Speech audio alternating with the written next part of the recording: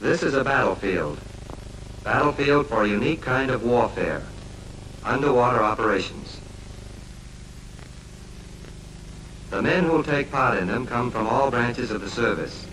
They're volunteers, picked men with a tough assignment, but they've got the stuff to carry it out. They're picked for swimming ability, endurance, native intelligence. The Maritime Unit gave them preliminary training at the OSS West Coast Training Center. The Bahamas, with warm, clear water and mild climate, are chosen for the next phase of their training. Here on Salt Cay, just off Nassau, they'll learn to go down to the sea in Lambertsen units. It takes experience to operate this underwater swimming unit correctly, efficiently. They're getting the experience, learning how to prepare it for use. Clear the unit of all air before circulating pure oxygen through its system.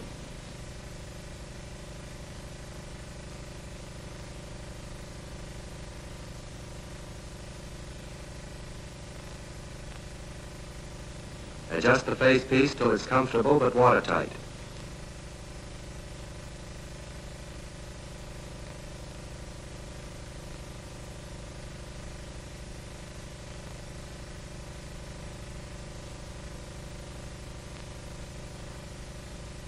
Open the oxygen valve. Control the flow. Check each step carefully.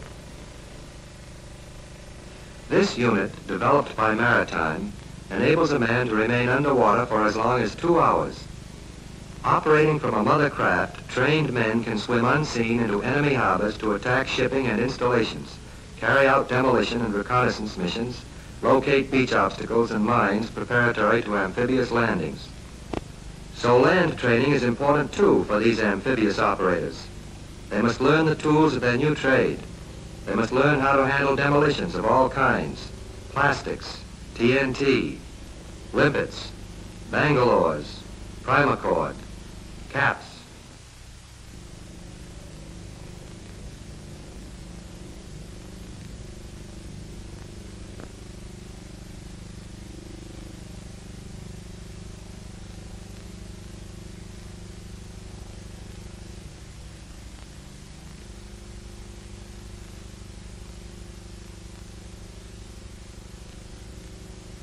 They must learn the automatic weapons too.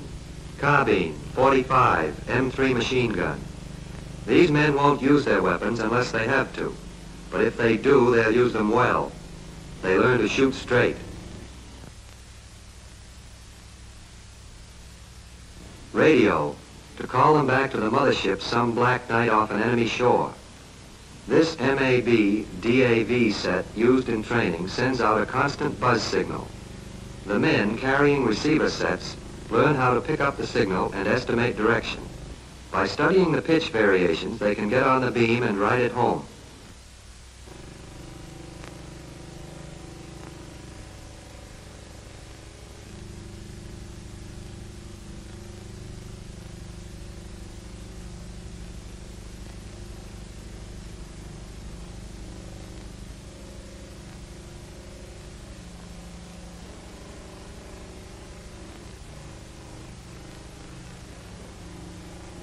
Chow never comes too early for these men.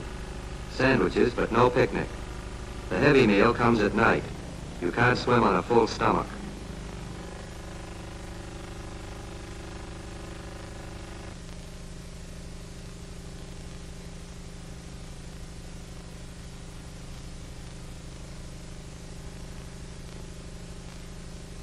How to assemble and operate rubber boats is next on the program. Rubber and wooden paddle boards, kayaks, rubber mattresses, LCRs. They'll get the men close to their objective. Now the objective is practice.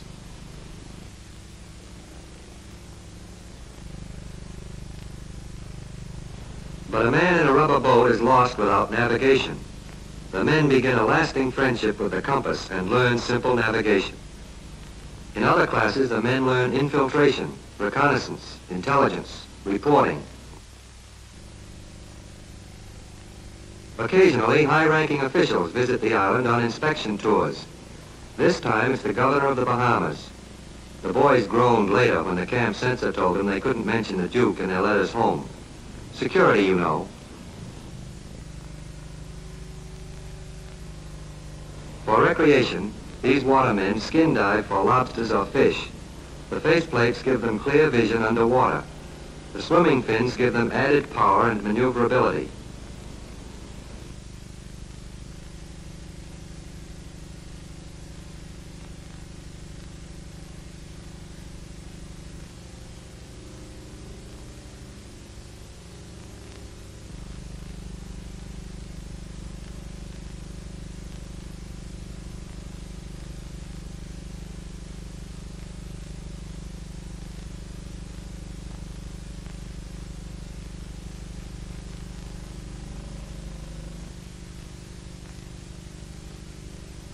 Sometimes they skylark with Henry, the class mascot.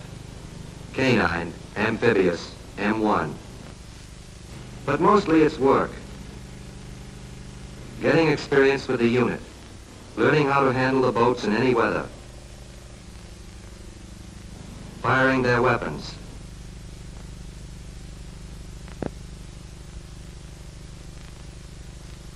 Practicing their navigation. Practicing their radio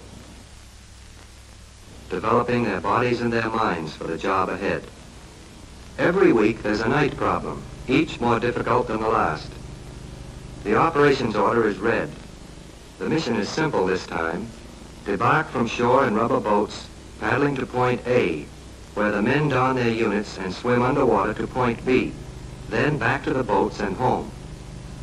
Gear is ready for the operation, and squads of eight men shove off in their LCRs. In an actual operation, the boat would carry fewer men, with explosives and radio gear taking up the extra space.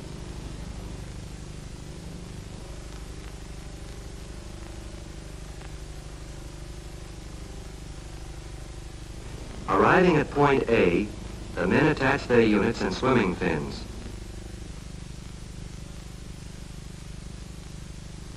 A last check and it's over the side.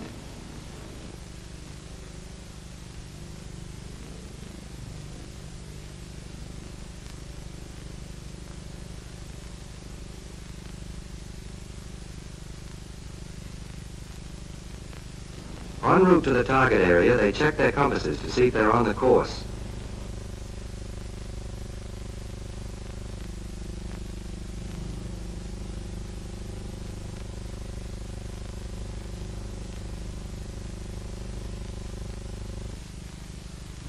With the target run made, the men surface and return to their boats. Off come the units for washing down and cleaning on the beach.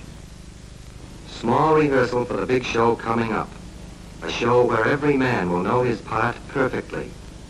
Yes, this also is a battlefield, an underwater battlefield where the enemy will fall.